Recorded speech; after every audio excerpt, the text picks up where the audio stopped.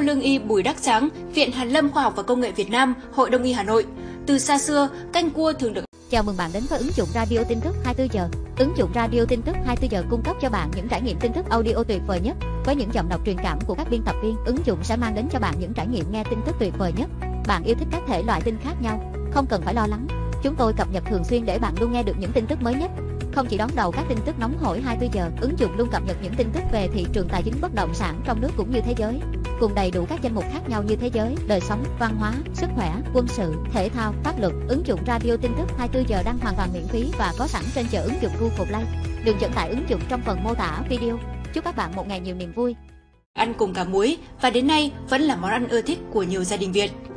Cà pháo vị ngọt, tính hàn, tác dụng tán huyết, tiêu viêm, nhuận tràng, Y học hiện đại chỉ ra trong 100g cà pháo cung cấp 1,5g protein, đủ các axit amin cần thiết cho cơ thể, 12g canxi, 0,7mg sắt, 18mg magie, 16mg phốt pho, 22,1mg kali, 0,3mg kẽm.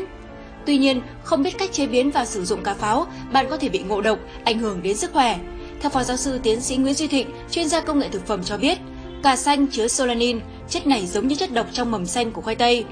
Lượng solanin trong cà xanh cao gấp 5 đến 10 lần so với mức an toàn. Do đó, việc sử dụng cà không đúng cách, thường ăn cà sống, cà xanh chưa chín kỹ sẽ là mối hiểm họa với sức khỏe.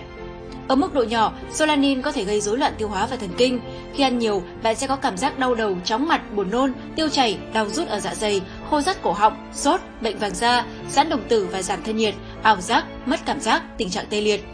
Triệu chứng ngộ độc solanin thường xuất hiện trong 8 đến 12 giờ sau khi tiêu thụ thức ăn, nhưng cũng có thể diễn ra trong vòng 30 phút khi nạp thức ăn có hàm lượng solanin cao.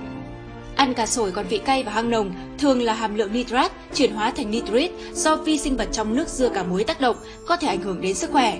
Một số nơi người dân vẫn ăn cà xanh muối sồi, trong khi thói quen này không an toàn, gây nguy hại. Cà muối sồi chưa được lên men, chưa đủ độ chua, dễ gây ngộ độc. Không chỉ cá pháo muối sồi mà cả muối chua cũng tiềm ẩn nguy cơ gây hại cho cơ thể.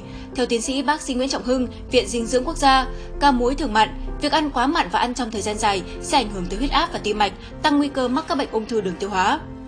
Cà thường được người dân muối trong thùng sơn, đồ nhựa tái chế. Thùng sơn khi tận dụng vẫn còn lưu lại các chất phụ gia, chất tạo màu, dung môi từ sơn. Dưới tác động của axit, muối, các chất phụ gia sẽ thôi nhiễm, thấm ngược vào thực phẩm, gây nguy hiểm.